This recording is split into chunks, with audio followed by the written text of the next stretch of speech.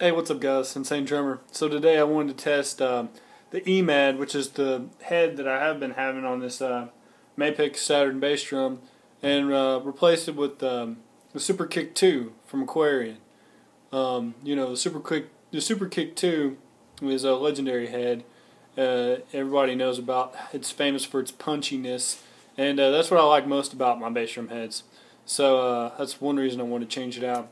Um, the other reason is I just wanted to test uh, what the Super Kick 2 versus the EMAD really uh, the difference sounds like. So let's check that out. This is the EMAD.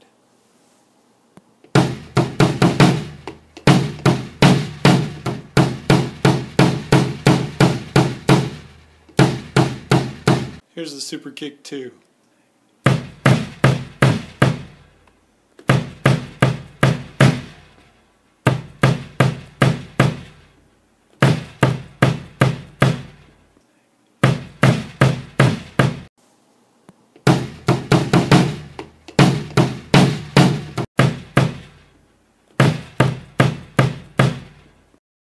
Yeah, I definitely like the Super Kick better. Uh, the Super Kick 2.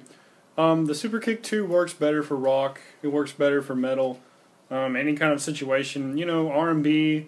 It really works better for any kind of when you need that real thuddy bass sound. And that's what I love. I mean, I'm not going to lie. That's what I love.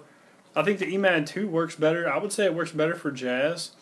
It works better for more of a warm bass drum sound. It's more of a...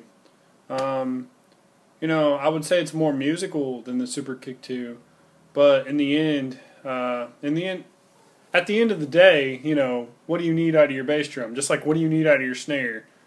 You need something that has a lot of pop, pow, and some nice resonance to it.